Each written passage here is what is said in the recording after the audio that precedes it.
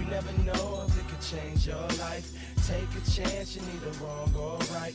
You never know if you don't wrong.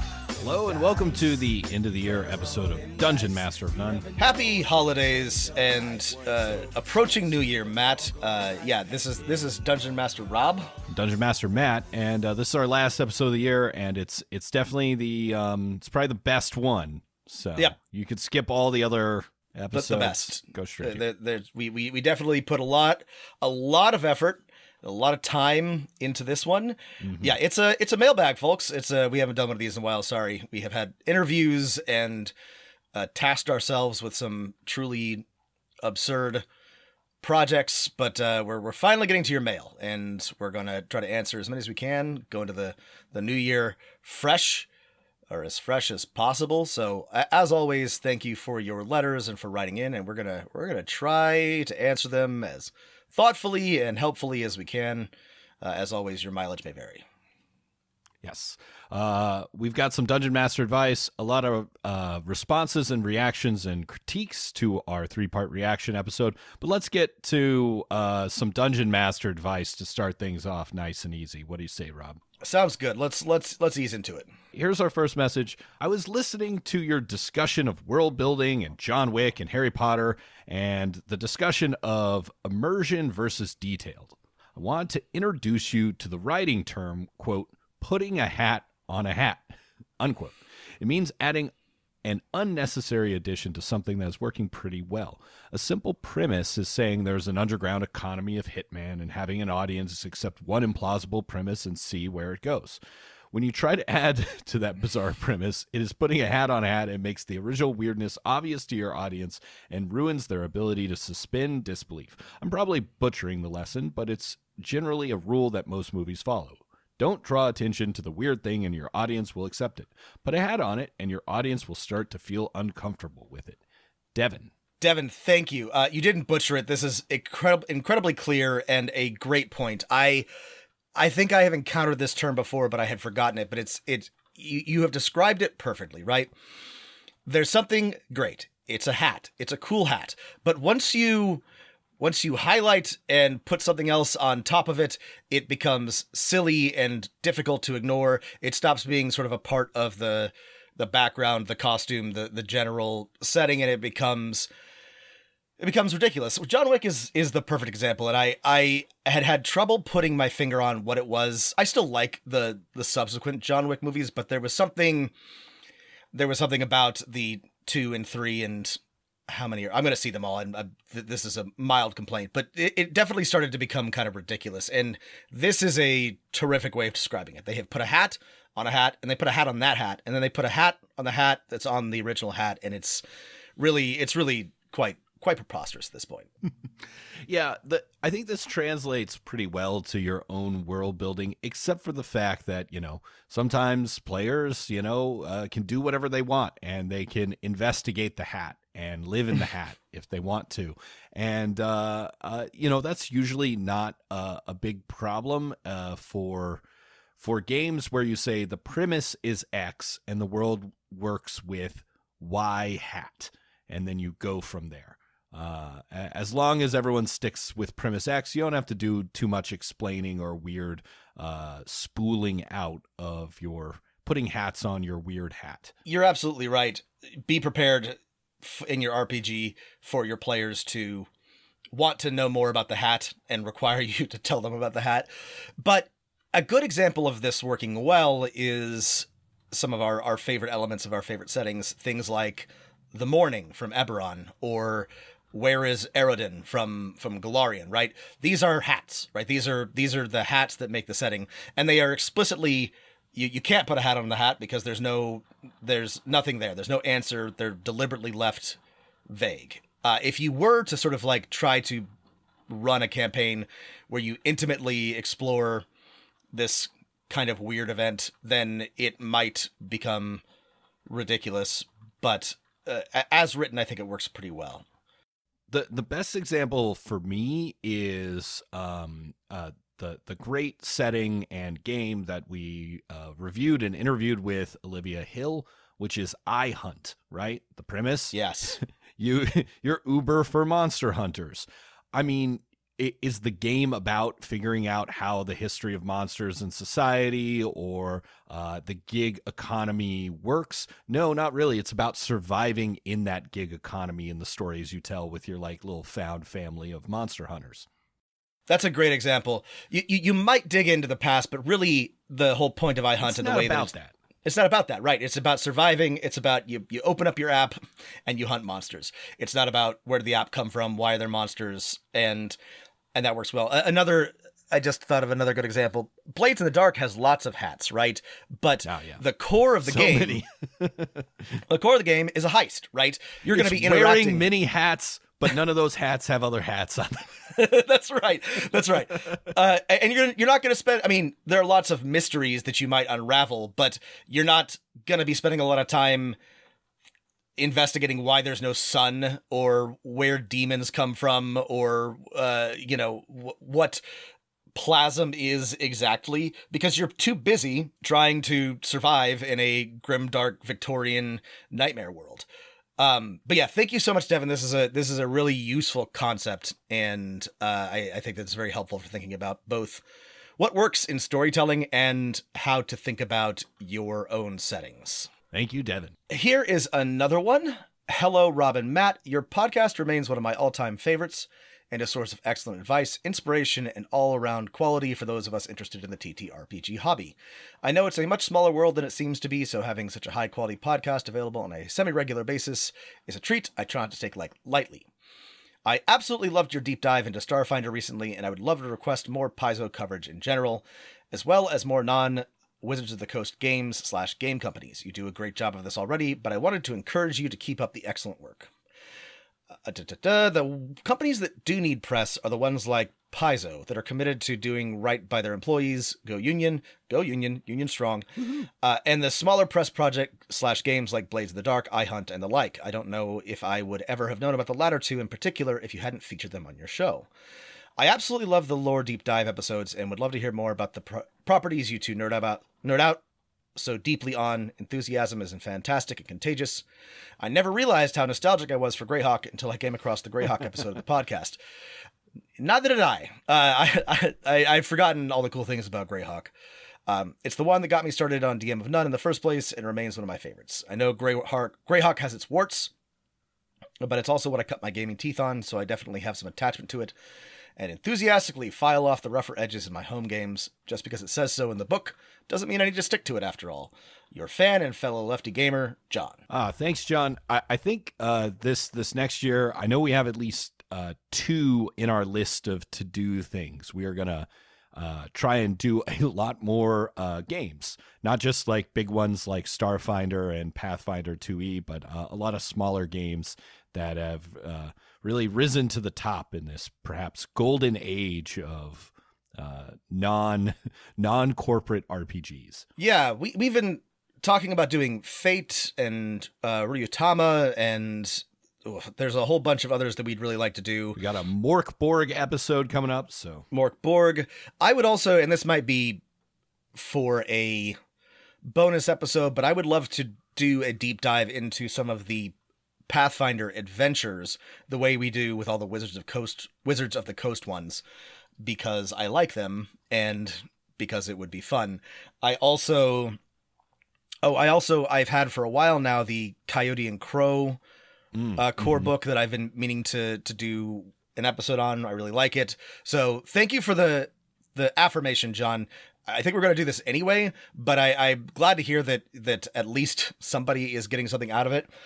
We are not going to stop doing fifth edition probably, but I would really like to do more non fifth edition. It has been a very heavy 5e year, and I feel like I have been Yeah, yeah, reading has. an awful lot of 5e material and I I am I'm a, I'm a little weary of it. Yeah, Yeah. I think uh, adding the like one D and D playtest things to our regular lineup is just like maybe too much 5e. We got to spice it up and uh, Yeah. get back to some other games, which we will do. Thanks for the encouragement, John. Uh, here's our next letter. Uh, here we go.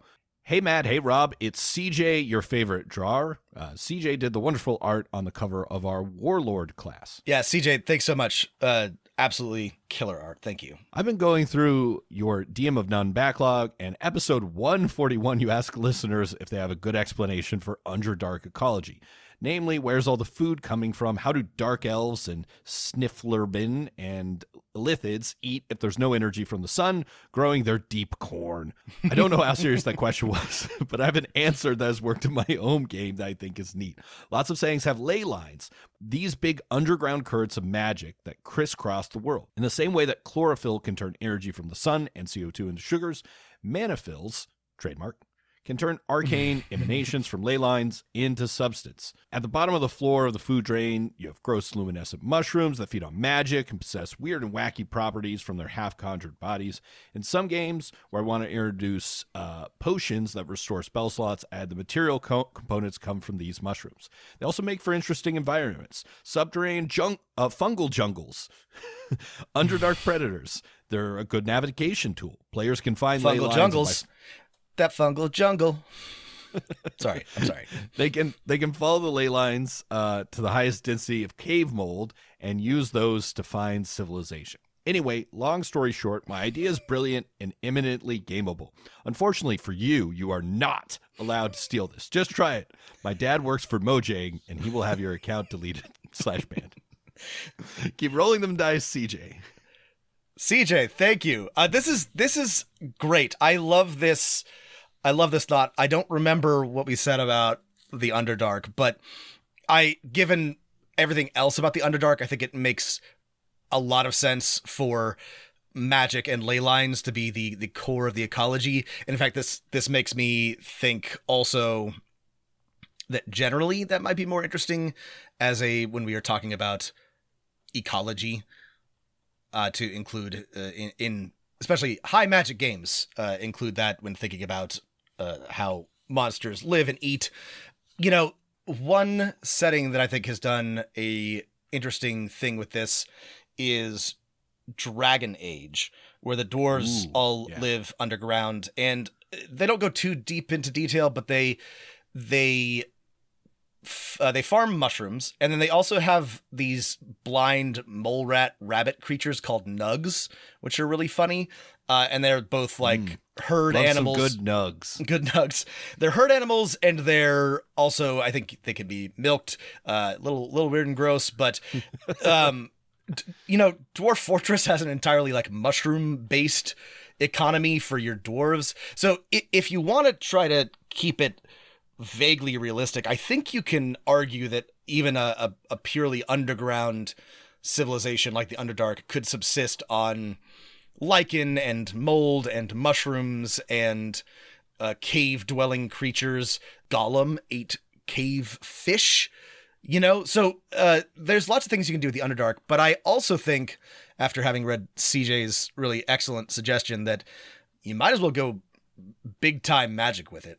I like the big time magic in that it just, uh, as CJ said, uh, allows you to do weird fights with weird ley lines and, and cool environmental effects and cool exploration uh, encounters. Uh, that, yeah, like what lives in a fungal jungle.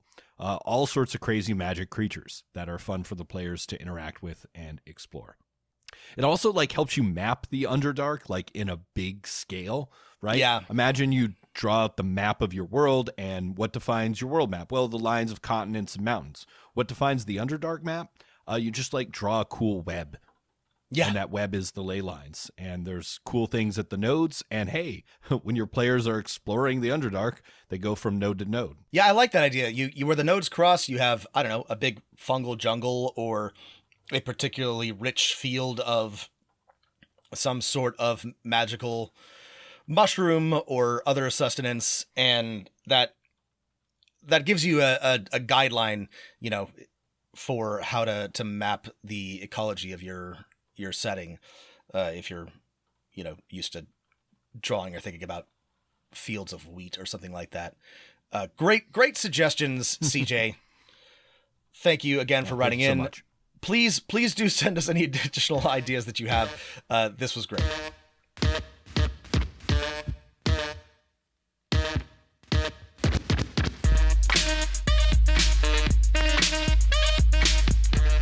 Okay, here's another one from Andy. Andy writes, Hey, I enjoy your show and insight on the game. I think you two have good ideas and perspective that I don't get on other D&D podcasts. I thought your two podcasts on Radiant Citadel were particularly good. I also liked the Starfinder episode, even though I never would have thought I would be into it. Well done. Uh, Andy has done something very good here. He he has provided a um, a sandwich where uh, he he gives us uh, two compliments, and, and in the center is a is a criticism. So here comes the criticism. Uh, I do want to give you some constructive feedback as well. When you guys pull modern politics into the show, especially with anger and profanity, it really negatively affects the experience for those of us who do D&D as an escapist hobby. hobby. Profanity around J.K. Rowling, border officers in the state of Texas just pull me back into all the crap I listen to D&D podcasts to get away from. Anyway, this is just my two cents, and I only send it because I like your content so much. Keep doing a great job with the insight. You guys really think about the game in a smart and deep way. Andy. Andy, thank you for your constructive criticism. It is helpful to hear, and you are not the first person to voice these concerns about our podcast. However, I appreciate the concern. We just might not follow it in this case. I mean, you know, I appreciate your comments, but like, I, you know, I live in Texas and it's my right as a Texan to say fuck this. let me let me say this, and You're you're not wrong to want to keep your games and politics separate. Uh, I I do often think that that is. A, a foolish endeavor, but I, I don't want to criticize you for for wanting to do that. But as we often say, everything is political, and I know that's a really annoying thing to hear, but it is true, including games. And more to the point, um, as much as I would like to make everybody happy and have constructed my entire life in the vain attempt to do so, uh, I cannot make I cannot make everybody happy, and I also do not think that I can control myself when it comes to this particular thing. I I believe it or not, this represents a pretty tame version of both Rob and Rob's politics. So like it, it, it, again, it may not seem so to a lot of people, but I I uh, I am very measured on this podcast with how I talk about things and with how I approach these issues. And so I guess what I'm saying is it's not going to get better. So uh, we've said this multiple times before. No. If you if you do not want to listen, no problem. I'm not upset. You, you do not have to listen if you don't like hearing about politics or about uh, us bitching about J.K. Rowling or cops or Texas or conservatives, whatever. Uh, I I think that we do a pretty good job of of balancing. Like this is not a political podcast, but we're also never going to not talk about it. So anyway, that's a long way of me saying I respect your concerns. I hear and understand you, but I I think that you may continue to be disappointed on this uh, account because it is just it is just not really something I can control. um, that's me personally. I think we both yeah. have this issue, but I, I specifically, I, I, get I get amped, I get worked up, and I I start running my mouth. And um, like I said, this represents a a controlled, a highly controlled version of that. So. Yeah. I, uh, again, yes. Thank you for your constructive feedback. Thank you for listening. Uh, I think probably nothing will change. Sorry. we want to be honest about this. No, we want to be honest. Like we we appreciate the criticism and you're not the first person to write in with a valid criticism that we cannot address. You know, I, I that's kind of disappointing to hear, but we need to be you know, we need to be honest about this kind of thing. Yeah. Yeah. Uh, as a uh, uh, let's see, a seventh generation Texan. Hey, too. Texas, have we talked about this? Yeah, before? I know, yeah. I know. I think we talked about this. How like, yeah, we both, both have like an ancestor, long timers. Yeah, like fucking here in the like worst, most evil, even more evil days of Texas. And yes, uh, the, I will, I will truly dark days. Yeah, you you cannot take away, uh, you know, my ability to get mad about the things I don't like about my home because I want it to be a nice place, but sadly, yeah. it's uh, not always. Anyway, um, yes, we will continue to curse and uh, go into uh, fun political rants. And if you don't enjoy that, I'm sorry. Thanks for the criticism, though. Yes, thank you, Andy, for writing in. Speaking of politics, here's a question about silvered weapons. Uh, Hey, Matt and Rob, first time writing, long time listener, running Curse of Strahd as a new DM because I guess I like a challenge. I have a frustrated player. He decided to play a dwarf fighter with proficiency in hammers. He was frustrated that he can only deal resistant damage to most undead and no damage at all to were creatures. This came to a peak last night while in Vallaki, wolf hunters led the players to a out of the city to a werewolf den. They survived. Most players had a ton of fun, but this player just crossed his arms at the table. He did a great job as a meat shield, but he hated that he could not slice and dice. I really respect him as a player. I want to make this fun without breaking the game. I posted on other groups, and here are some possible solutions. I would love your take on this. One, silver up his hammer. He would need to sacrifice like all of the loot he's gathered, um, and he wouldn't be able to afford it. Two, enchant the weapon. A sub option would also be to curse it, like every time he attacks an undead, he is reduced to half movement, which was frustrating, especially for a dwarf. Three, Strahd makes a deal with him in a dream, and now he owes him some sort of favor or consequence. I'm also open to other suggestions. Sarah. P.S. This player might be my husband.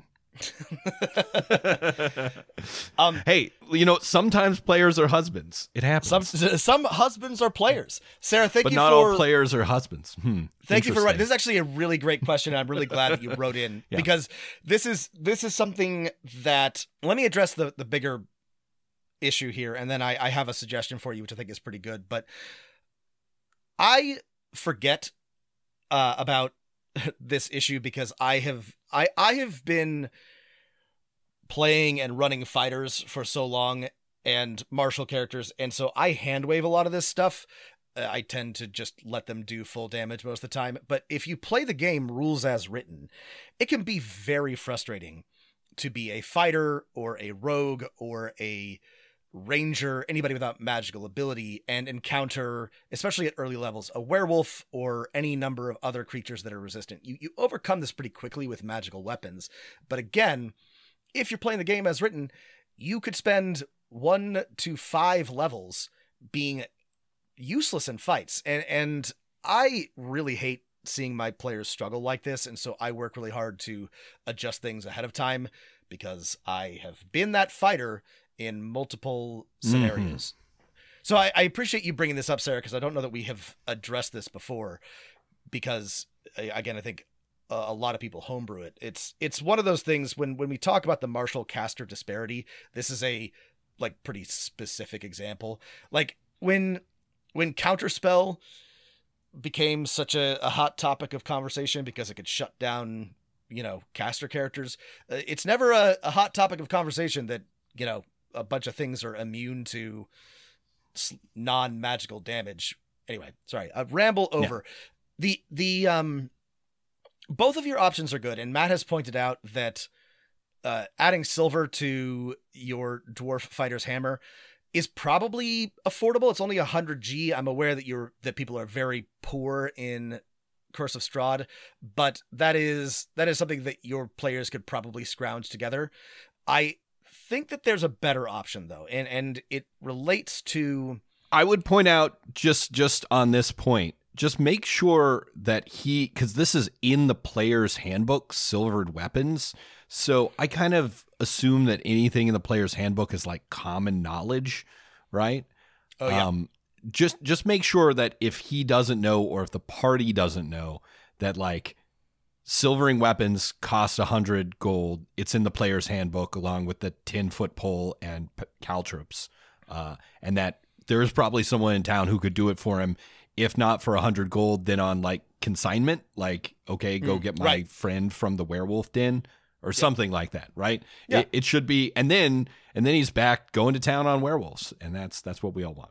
Okay, back to your the more interesting solution. It's also something that even a crummy rudimentary blacksmith like all they have in Vallaki could still do. You know, it's it's um if you purchase the silver, find the silver, it can be done. You could even say a dwarf just knows how to do this because yeah. they're a uh, he's a dwarf who is uh, trained in hammers.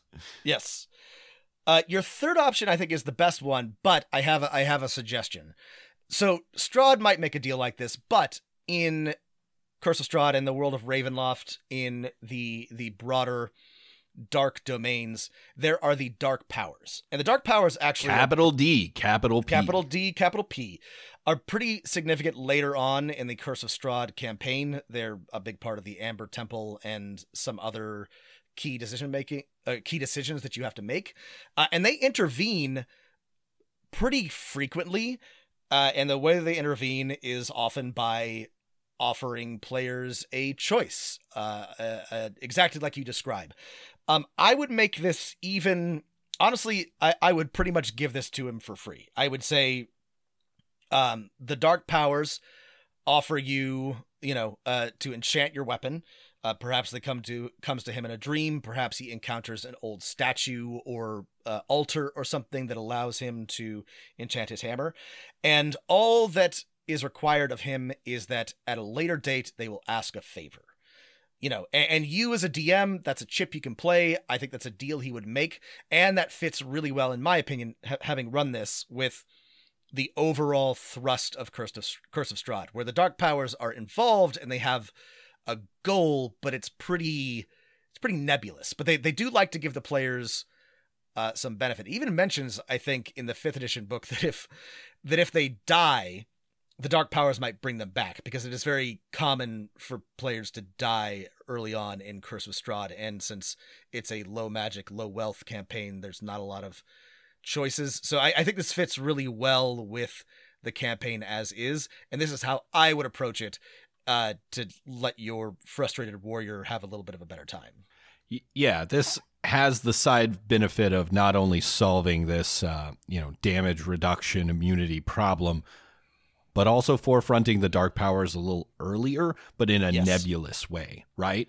And the great thing is if you give it to your player, as Rob suggested, with no strings attached other than nebulous favor, then it was it's absolutely something the dark powers would do in that it when the players get to the amber temple or some other place later on where they're important they're like oh yeah the dark powers we don't actually know they're called the dark powers they're just in you know strange things that uh, give us free stuff. This is great.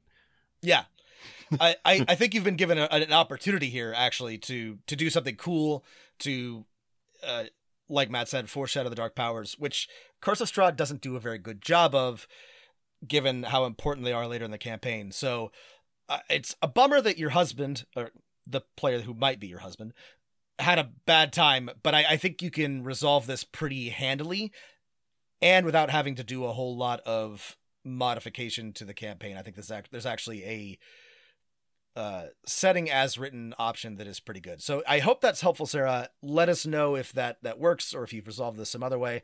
Great question, though. I'm, I'm glad you brought it up. Great question and uh, great job on your dungeon master passive perception skills. Noticing yes. uh, uh, the uh, the state of a husband, uh, arms crossed. Never right. never good That's body right. language. Thanks, Sarah. Thanks, Sarah.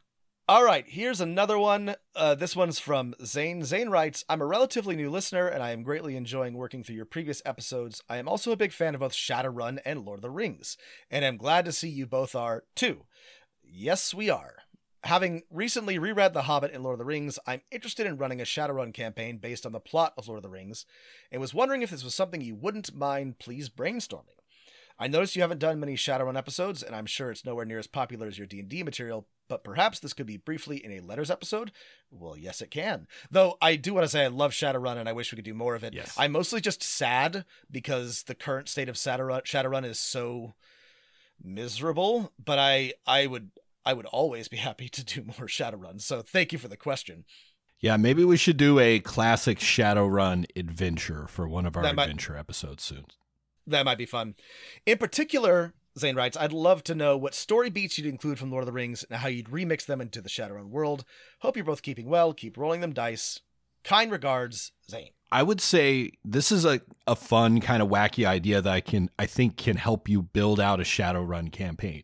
Before we get into this, I'd say the one thing you would want to re- avoid with an idea like this is in any way trying to do a plot by plot, uh, beat by story beat, uh, uh, reimagining of Lord of the Rings or The Hobbit. Right? Role playing games don't work like novels. You you can't You can't do that. there was a there was a great web comic once called Board of the Rings or something. No, not Board of the Rings. Uh, Dungeon Master of the Rings or something like that. Something like it was that, Just yeah. like, yeah, just making just fun a- of uh Screenshots of Lord of the Rings. It was really funny. They, they had one for Star Wars too. It was very funny. Right.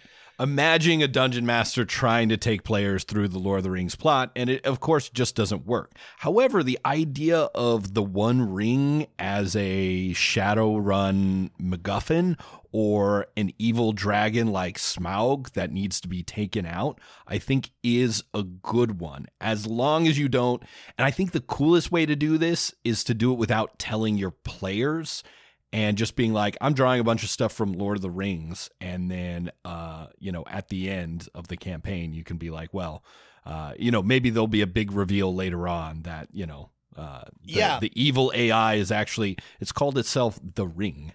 Zane, this is very interesting. I would not have thought of this, and quite frankly, I, I don't think that this is a, a natural pairing. That being said, I, I love a challenge, and I think it's interesting. And so, even though I never would have thought of this, and I, I have some questions about how it worked together, I think there's something here, and it's it's interesting. You know, the the the initial thing that sort of comes to mind as a roadblock is that Shadowrun is a very episodic heist based game and it works or a jobs based game right? And it works best that way. And, and so initially i was like well i don't think this is going to work at all. But when you think about it lord of the rings is just a reverse heist it's uh it's just you know instead of taking something from a you know guarded and secret place it's it's it's putting it back so Yeah.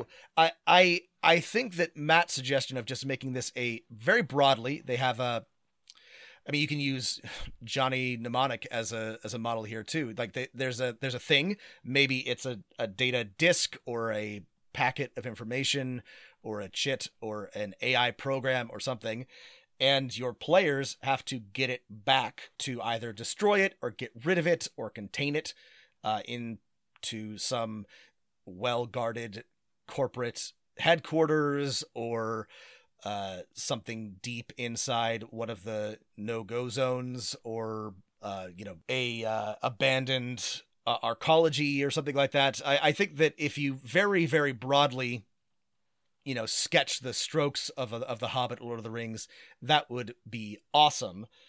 But the the closer that you try to adhere to the specific structure or story beats, the the more your players are almost certainly going to foil your plan. two broad strokes I think that could be fun Shadowrun adventures is one is like maybe your session w- one or your first Shadowrun session after a couple of milk jobs, milk runs, is that a dwarven Mr. Johnson comes to the players and says, you know, we had a small dwarven colony in the old uh, Cheyenne Mountain NORAD complex and it's been taken over by a you know intermediate or lesser draco form dragon who has taken over our double a corporation that we ran out of there and we want it back we're hiring a team of dragon slayers right and then the first job is just go kill this dragon right?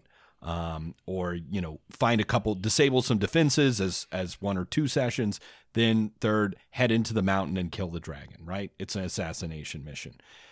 During that mission, the players all become infested with a rogue Magitech AI hand waves some stuff here, right? It's the most powerful AI of all time. It could control the Matrix if it um, if it could. It can't be stopped, but the players have like a bit of its you know soul because it's partially magic or something like that. And then yes, then Rob said the next mission could be go to a no go zone. And the only way to kill this AI is to put it in its own matrix where it thinks it rules the world, but it, it's in fact contained within something that was built for it, or something like that. I don't, I don't know what you could do for the ring. My, my initial thought is the ring used to be a small um, uh, doorbell program that existed before the the cataclysm and the sixth world. Get it? Ring ring dot, Yep, dot yep, com. yep. Yeah. I like okay. it, I That's like that's it, all I, I got. like it. Yeah. No, no, I, I think that's I think that's great. I like the ring as a program of some sort. The yeah, I so I think it's a good idea. I think there's definitely something there. I think it would be an interesting challenge, but I definitely think it could be fun in Shadowrun. So let us know if you go with that, and good luck. I love Shadowrun, yeah, faults and all. So um, this is a really interesting take on it. So I'm curious to see if it works. And then just, you know, follow your players with fun Shadowrun stuff. If you do the kill sm- not Smaug in a dwarven mountain, uh, and they're th- then interested in something else, just let them do the other thing too. Don't Yeah, try and force yeah. a Lord of the Rings plot. It's not going to work. But uh, yeah, fun thing to take inspiration from. Thanks for that fun letter, Zane.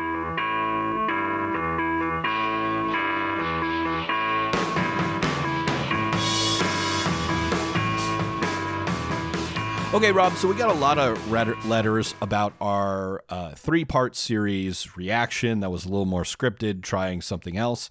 I think I have an idea for another one of these once we get up uh, the time and energy in the future, but uh, lots of people liked it. Lots of people had some criticisms. Uh, thanks, everyone, for writing in. I, I'm glad that so many of you liked this because this is, you know, this is one of my crosses to bear. I suppose I I, I am just uh, obsessed. I I find right wing ideas, ideology. Um, if I say fascinating, I don't want that to sound like it means I approve. It's just I.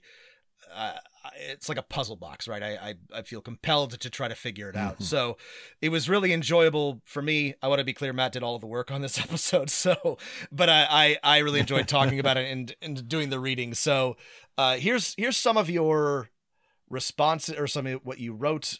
Matt writes. Matt from Thunder Bay, Ontario, Canada writes. Uh, just listen to your reaction, three part deep dive, and I wanted to tell you that it totally rules. Thanks for putting that together and putting it out in the world. Great stuff. Thank you, Matt. Thunder Bay sounds like a really cool place. Is it cool? I don't know. I'm going to assume that it is. It sounds like a place on your generic fantasy map. Um, can't does. believe it's in It Canada. does. Uh, here's another one. Hey guys, I recently started listening to your podcast and really like it so far. After the last three episodes about reactionaries, I've been a little torn. I absolutely agree that the concept of, quote, evil races is bad, but there is something I find really evocative about the trope of evil race slash group slash empire slash etc. Do you have any ideas on how to create such a group? I feel like that's a question that answers itself because a monolithic evil group is bad, but I'd like to hear your thoughts. Thanks a lot, Alexander. This is a really good question, and I'm going to try to not spend too much time on it because I think we've answered it in part before, but it's something that I grapple with. So I have I have two answers. I think that it is genuinely a lot of fun to play an RPG where you kick down the door and you kill a bunch of bad guys and you don't feel bad about it. Now, that is a problem if those are living, breathing, thinking, you know, sentient creatures. I think that it is safe, in my opinion, uh, to kill uh infinite amounts of mindless undead. Those are always a safe enemy. Zombies, uh, even maybe something like a vampire. I think they don't even have to be mindless. I also think that constructs, automata, robots are usually pretty safe. You can uh, argue with me if you like that robots have sentient, you know, but if they're they're actual AIs, they're robots, they're constructs, then they're just magically animated suits of armor or whatever. So if you want to avoid having to grapple with this, I think that undead constructs, certain you know non-intelligent creatures are totally fine as an evil group or a uh, antagonist to deal with. Um, in terms of like an empire or something like that, I think that it's also just fine to be like these are this is an evil empire. They're they're fascists. They're Rome. They're Romans. You know, they're they're Yeah. trying to, to to take over the world. They're trying to conquer everything. Now, your your players should probably not take too much delight in like murdering wantonly everybody or torturing agents of this empire. But I I think that in you know the the broad sense of defending yourself, defending the world from a conquering empire, I think that's relatively unproblematic for a for a role playing game. here's the only answer I'll give. I want you to think about like the concept of goblins as an evil evil race as they're presented in 5th edition, which are, you know, they're basically a fully sentient society, but they almost all happen to be evil. And the way goblins are presented in the game Mörk Borg. I'm just going to read right now from page 58 of the Mörk Borg rulebook and their description of goblins. All goblins carry a curse. Once like you, they are now trapped in the prison of their own crazed goblin flesh. Only their eyes reveal the truth. A ruined mind watching its body prison perform terrible deeds. Even being attacked by goblins sins the curse, carried on the winds of their hate. Hit or miss, it doesn't matter. In the dark of Sarkash, they shoot at passers-by with twanging bows. You must find and kill the goblin before your mind is paralyzed. If the curse-carrying creature still lives, D6 days after the attack, you will irrevocably warp into one yourself. Then only the dark of Sarkash will hide you. Which is more interesting? you know? Uh, one, oh, there's just uh, the gods made this race evil. They're all evil. Or like a magically evil set of beings. Could be like skeletons or mindless automata or something like the goblins that we just read. They're cursed creatures and they want to attack other creatures because it will pass their curse along. And you are freeing them from their horrible flesh prison and protecting yourself. I mean, you know, it's always going to be I don't know. There's always something about the about just this sort of fantasy violence that if you think too hard about it can become unpleasant, but it's also okay to just I mean, again, you are inhabiting a fantasy. We are we are role playing here. So yeah, I like I like the way that Mörk Borg approaches this, and we'll talk more about that. But yeah, just think about that. Great advice from Matt. Okay, here's another one. This one is from Josh. Josh writes First off, I'd like to say that I'm a big fan of the podcast. I've been listening for a few years, and you guys have really helped me develop as a game master after assuming the role in the absence of someone else more qualified. I like to think I'm in that scene from Starship Troopers when Johnny Rico is told he's got the job until he dies or they find someone better. Come on, apes, you want to live forever? That's right. Feels like an appropriate analogy to the stress of DMing. Listen, that's how most of us got into this job, so uh, good for you. First and foremost, thanks for what you guys do. We listeners cannot possibly appreciate how long it takes to research, edit, and polish each episode, and yet you consistently and regularly put out high quality material, all while holding down day jobs like the rest of us. In naval parlance, bravo Zulu. Good job to you guys. I, am glad that it seems that way. Thank you. uh, as the let's see, I wanted to also wanted to commend you for your recent series about reactionaries and the alt right neoconservative backlash born of the attempts to make the hobby and our general social interactions more inclusive. I plugged it in during an evening workout and ended up binging all three episodes because it was so compelling. It reminded me of some of the material we cover with our students at the U.S. Marine Corps Expeditionary Warfare School, EWS, at which I am an instructor. Um, Semper Fi Marine. Uh, at EWS, the aforementioned course is an elective called The Other Side of the Coin, which is a small seminar focused on the nature of how social movements become insurgencies and how governments choose to interact with them. One of the modules we present to the students covers the rise of, the, of radicalized neoconservatism and white supremacy in the US, particularly over the last 30 years. I've included some of the reading material we gave to the students that reinforces much of what you put into your three episodes on alt right reactionaries.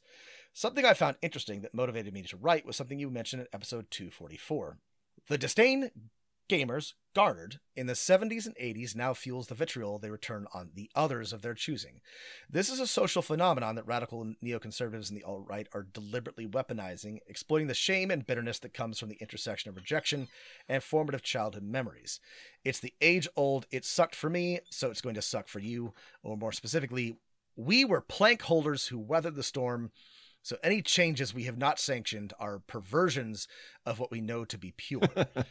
this is a really great way of putting it. Yeah. Uh, this fixation on the purity of the good old days is born of the deliberate effort to connect the perception that these folks will never fit into the crowds that threaten an alt right white supremacist worldview.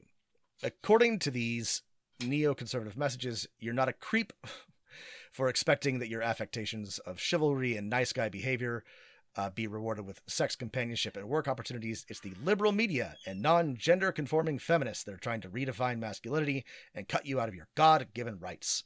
For a community that developed an identity grounded in being rejected by mainstream cultural norms, this message resonates intensely. It is a safety valve, a cop out, and the relative anonymity of the internet and meme culture's tendency to paint critics as lacking a sense of proportionality, uh, i.e., it's only a problem because you said it's a problem, can't take a joke, are fuel on the fire. Um, So with all that, and apologies it was so length- lengthy, thanks for strapping on the greaves and wading into the gore. I hope you haven't caught a bunch of shit for it, but even typing that I know, anyone dumb enough to reply to a podcast episode about reactionary bullshit with their own reactionary bullshit is deserving of your next barrage of mocking and ridicule. Ridicule, keep doing good work. You are examples for us all to emulate. Emulate. Best, Josh. Josh, thank you. Also, uh, there were many wonderful turns of phrase in that letter. Thank you Yes. for for writing. uh, that was a, a, a fine thing to read and and well written. So thank you so much for writing in, Josh. I have only to say uh, that was an ugly email, a bug email. A bug email. Uh, uh, listen. Thank you uh, so much, Josh. I'm. listen, I'm from the TTRPG space, and I say kill them all. Oh my god. yeah. Uh, well, okay. Uh, en- uh, enough Starship Trooper Chuck, uh, but thank you for getting s- us started on it, Josh. Uh, and thank you for all those really cool points and uh, you know, sort of chilling uh, deeper knowledge about uh, uh, reactionary movements in the United States.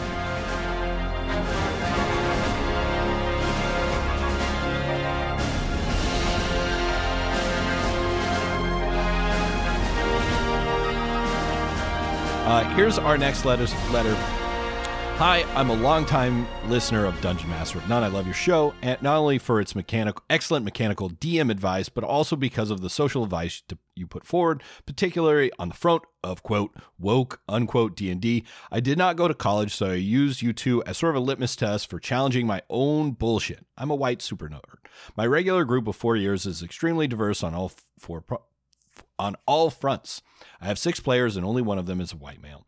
Your advice has helped me navigate some serious bumps in my road, particularly the part of my world that is, quote, not Egypt slash Arabia, and some bad accents I've done in the past. My players are actually really receptive to me adjusting my sensitivity levels. I, I'm sure I've said this before. I just want to jump in here. I, I one, I, I never wanted him to feel criticized by our podcasts, but I also want to be clear that in the year before we started this podcast, I almost certainly had a not Asia setting and did a pretty bad, uh, I don't know, like African or Indian accent. So I, I don't want it to sound like, you know, this is something that is, you know, that, that n- not a mistake that I have ever made or that, you know, is, is unforgivable. So, you know, we're, we're all on our own journey.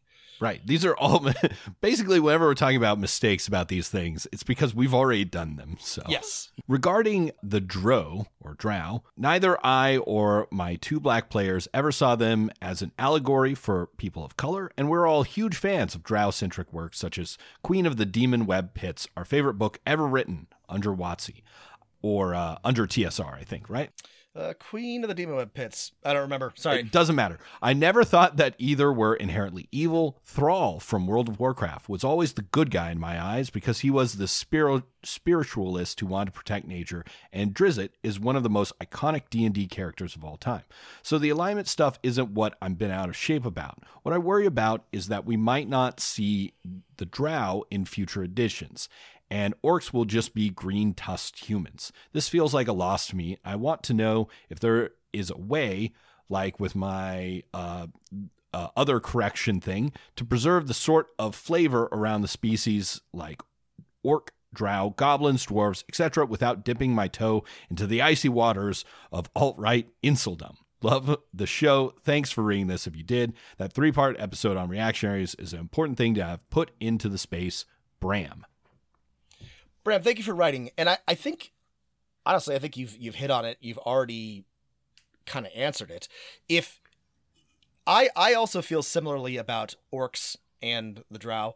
I have tried to rescue orcs in multiple settings and multiple games that I have played because I think they're neat.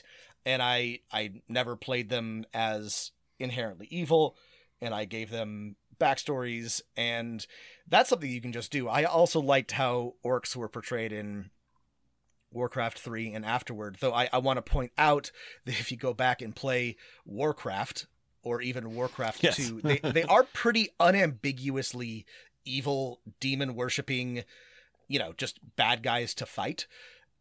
And Blizzard and realized then when they got more complicated, they became a lot more interesting. Exactly, exactly. Blizzard realized that this was a problem, especially if they're going to be running a, you know, massively multiplayer online game where you could play an orc potentially forever.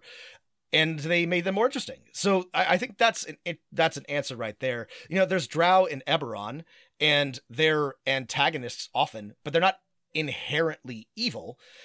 So I, I think that you've already sort of answered the question. You've already uh, figured out your approach. I, I also sort of worry what, if anything, Wizards is going to do with orcs and drow and goblins in the future. But that's also not something that you have to worry about. They're going to continue to do a bad job because they've always done a bad job, even if they are are acknowledging sort of the way that they have been portrayed is problematic. But if you like them, and I think eh, so do I, then you have all the opportunity in the world to portray them in a way that that fits for you and your players. Yeah, I, I don't think Drow are ever gonna go away, but uh, could they be reimagined just like Orcs War in the uh, World of Warcraft universe? I think they absolutely could. Um, uh, hopefully, it will be a good reimagining, or or yeah. retweaking, or retconning, or just something. But yeah, something, I, I, love yeah. Drow too. Um, I, I think uh, I don't think Drizzt is ever going away. No, he's not going anywhere. Yeah. So great question, Bram. But I, I think that, and I'm really glad that your group approached these these issues the way they did, and you didn't find a problem with it, and you've found your own approach. And I honestly want to encourage you to just continue with that because I, I think you've done it right. Yeah.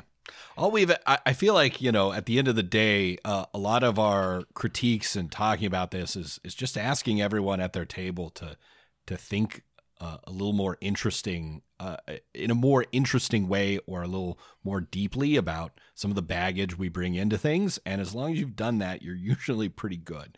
And it sounds like, uh, yeah, you've done it. And this is the thing, and this actually relates back to the the reaction episode. But like, if you not you, but if somebody is playing a D&D game and they have orcs or goblins that are all evil and their players run around killing orcs and goblins, no one's going to come into their house and slap the, you know, uh, the board out of their hands and, you know, shake a finger at them. I just, I don't know. We, we would just like you to, uh, we just think it's more interesting and more thoughtful and more inclusive to do it differently. So, yeah, anyway. Thank you again, Brad. All right, our next one. Here's a letter that starts with Hey, Rob and Matt, this is my first time writing in. Really enjoying your series on reactionary resentment in the TTRPG scene. In one of the episodes, one of the right wing gamer YouTubers you quote uses the term Baizuo, and I wanted to shed some light on this term. Baizuo is a slang term on Chinese social media networks like Weibo, WeChat, etc., that literally translates to white left.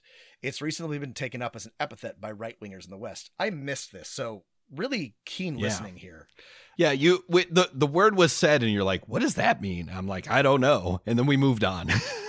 yeah, in our deeply researched uh, three part episode. I I now I remember this, and I'm like, I didn't realize what he was saying. So thank you for for this letter. In the minds of Western white right wingers, Baizuo refers to Western white liberal leftists who are perceived by Chinese observers as being effete or weak by being overly concerned with political correctness and weakening the American body politic's ability to resist the rise of a strong China.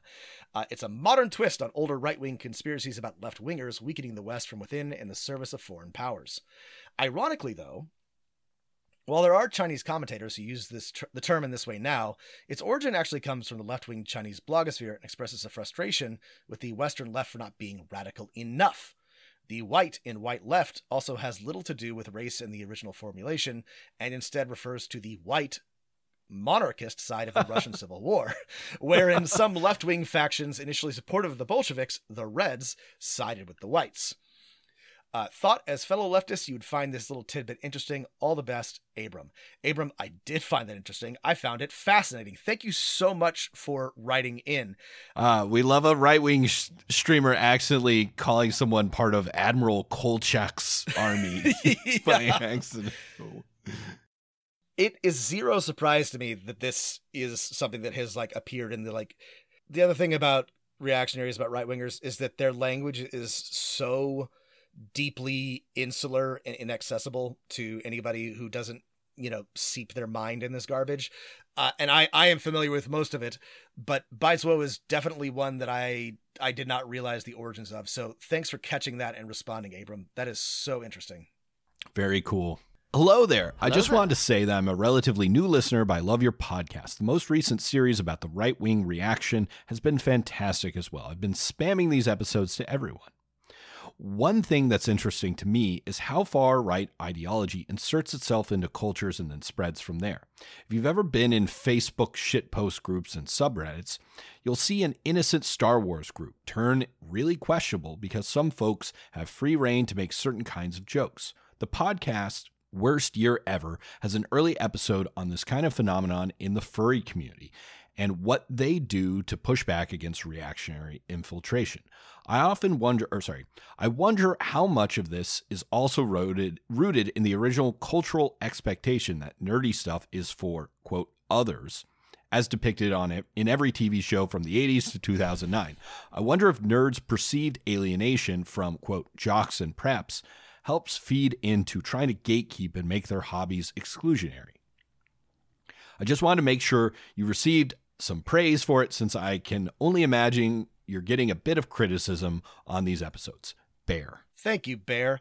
Uh, that's a that's a great point, and I this is I, I don't know how obvious this is, but this is a this is a genuine challenge and a strength of a genuine challenge with you know opposing it, but a strength of right wing ideology, which is that if all you care about is gaining and preserving power, then you don't have to worry about you know being being accurate about being correct about people liking you. Uh, you know you you're again it's there's something very like simple and clarifying uh, and truly dedicated right wingers understand that it's really a um, it is about the acquisition and control of power whereas us moronic leftists actually believe and care about things uh, which puts us at a disadvantage with these sorts of people. And it makes it very easy if you're not on guard for them to infiltrate communities by pretending to share their values or be interested in the same things and then subtly slip in right wing uh, ideological memes and whatnot.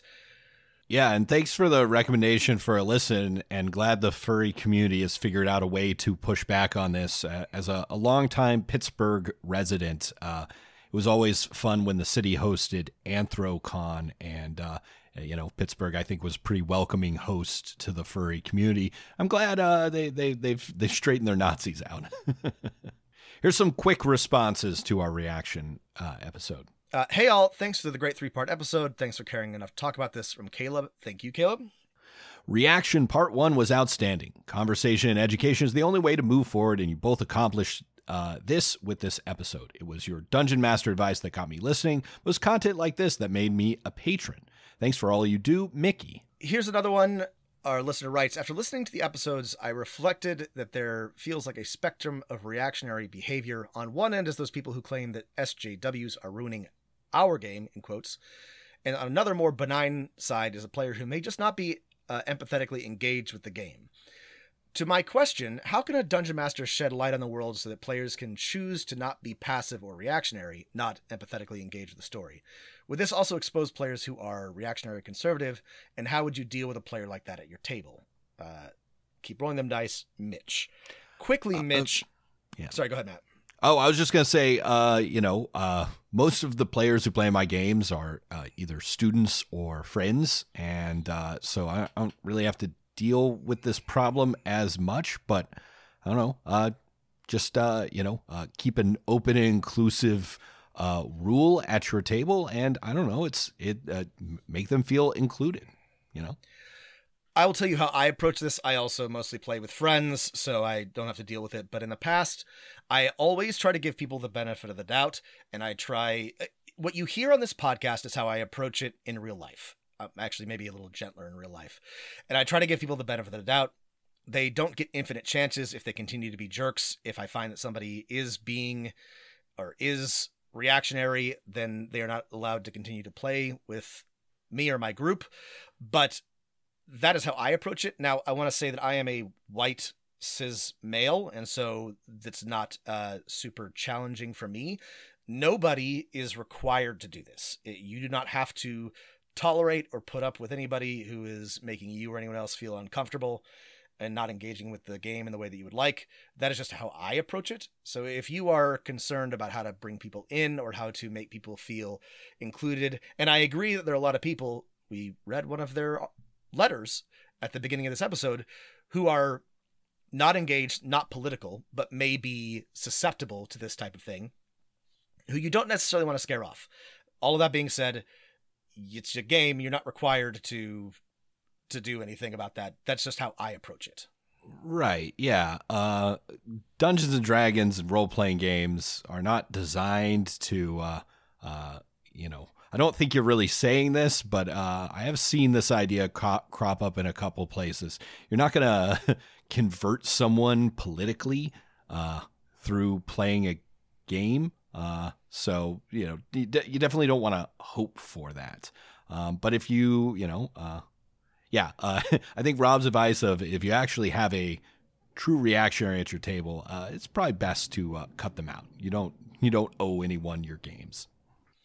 And I agree with that. I, I just want to say that you know you may influence somebody by being talking openly about what you believe and being inclusive and being understanding, uh, but that is not your job. that is not the purpose of role playing games. So don't don't stress over much about it. And if somebody's giving you too much shit, you do not have to put up with them. Agreed. Last letter on the reaction episodes, and maybe a good last word. Hello, I really loved your recent series on reactionaries at gaming, but there's one slight correction I want to make. In the third episode, you frequently referred to discussion of transgender people within right wing forums as political discussion.